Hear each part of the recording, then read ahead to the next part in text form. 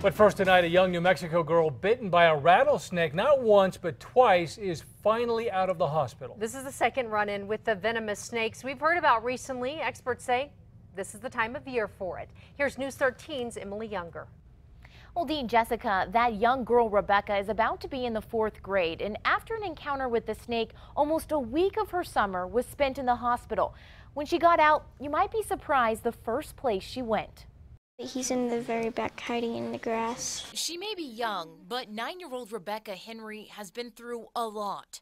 Er, it hurt and bit me twice. Rebecca was at her uncle's house near Moriarty last week when she heard a bird outside. When she went to go check it out, uh, two steps off the stairs, I got bitten by the rattlesnake. Oh, we think it bit me there and there. Rebecca was immediately airlifted to UNMH. She spent five days there recovering from the wound and dealing with heart problems likely caused by the snake's venom. No, you can't help her, you know, and so you can't get, she's trying to get away from the pain and you can't get, you know, you can't take the pain away. And so it was rough. Even rougher, the idea Rebecca may never feel comfortable in the country again where she lives. We wanted her to realize that it wasn't her fault, but it also wasn't the snake's fault. We're going back into the Rattlesnake Museum. So her parents brought her here to the Rattlesnake Museum in Old Town. Why'd you go there?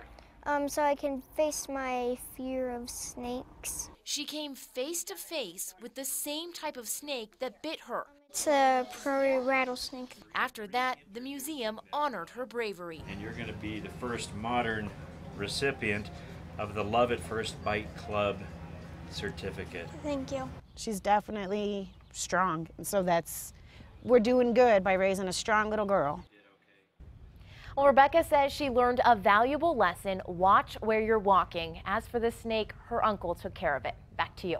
All right. Thank you, Emily. We did some we did do some fact finding about rattlesnakes. Experts tell us rattlesnakes are out more because of the warm temperatures and the rain. According to the New Mexico Poison Center, about 75 to 100 people are bitten by rattlesnakes in the state every year.